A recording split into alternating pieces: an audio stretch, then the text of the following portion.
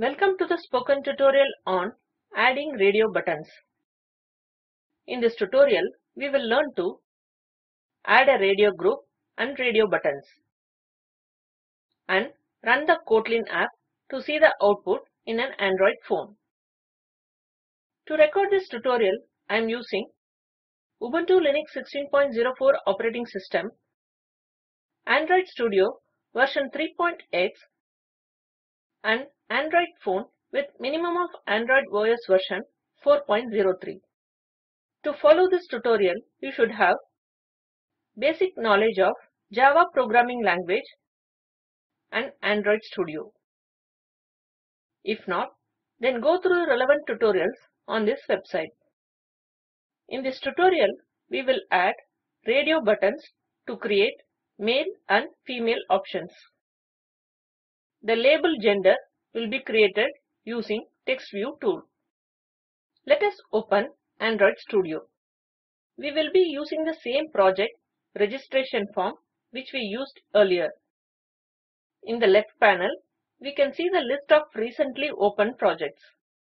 Or you can click on Open an existing Android Studio project and then select the registration form project from the saved location. Select the project registration form directly from here. It will take some time to load the project. Wait until it completes loading. Click on activity underscore first.xml file.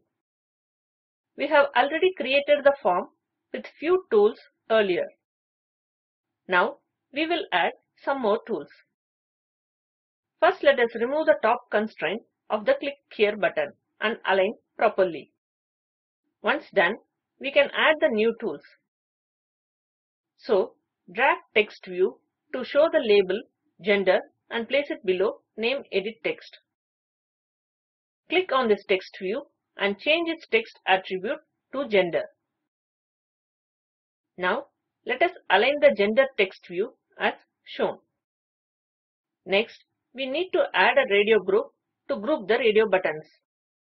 Why we need radio group? Radio group can hold the radio buttons.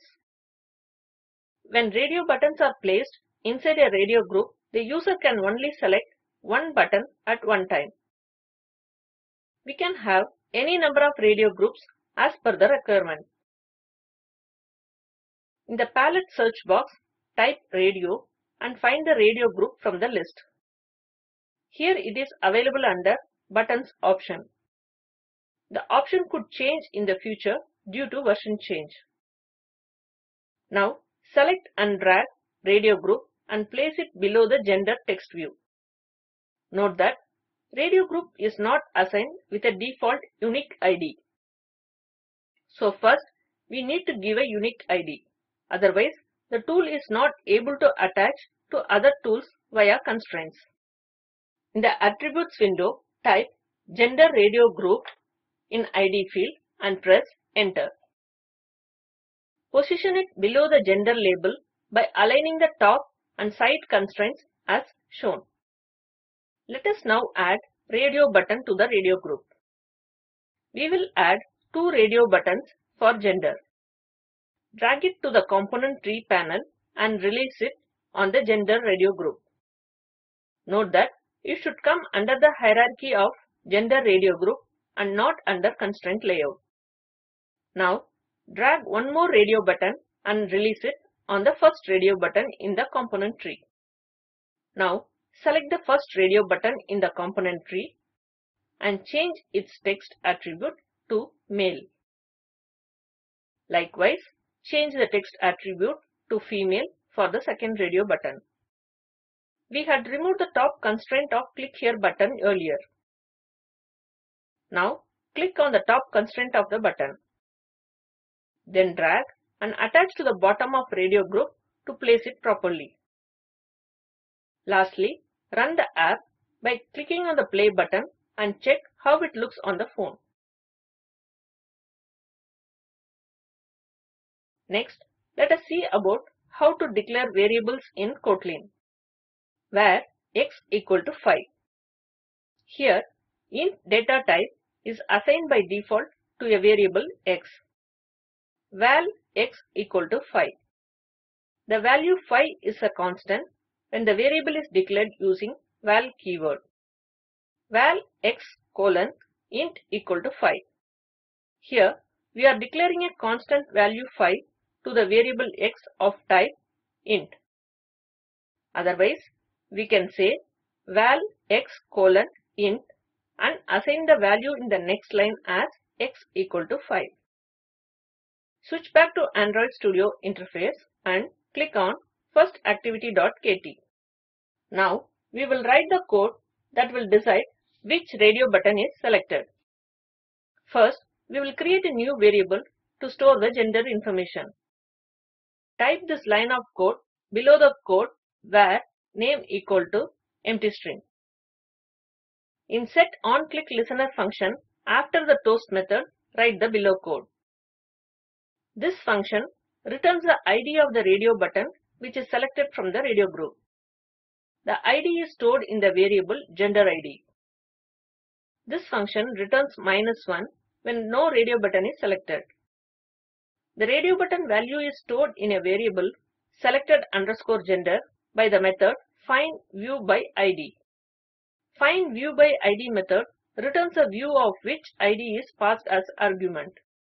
This line extracts the text of the selected radio button and stores it in the gender variable. Now we have a new data gender which we can pass on to the second activity. Type this code below the previous put extra method in the intent method. This new data can now be accessed inside second activity.kt. Click on activity underscore. Let us resize the text view to add the gender information. Now go to the second activity.kt file.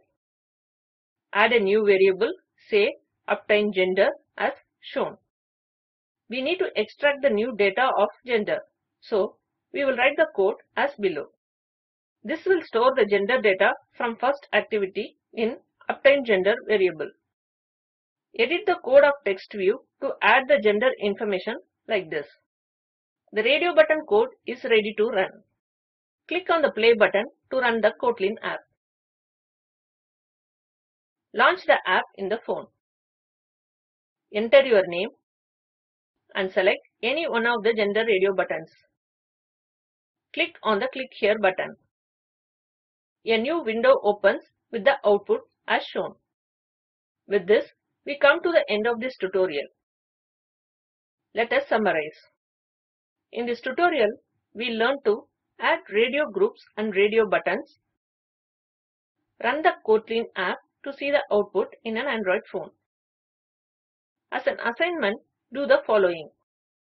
Add one more radio button to the radio group and change the text attribute as others. Run the Kotlin app to check the output. The video at the following link summarizes the spoken tutorial project. Please download and watch it. The Spoken Tutorial project team conducts workshops and gives certificates. For more details, please write to us. Please post your time queries in this forum. Spoken Tutorial project is funded by NME ICT MHRD Government of India. More information on this mission is available at this link. The Android app and the script for this tutorial was contributed by Abhishek Shah. And this is Nirmala Venkat along with the spoken tutorial team from IIT Bombay signing off. Thanks for watching.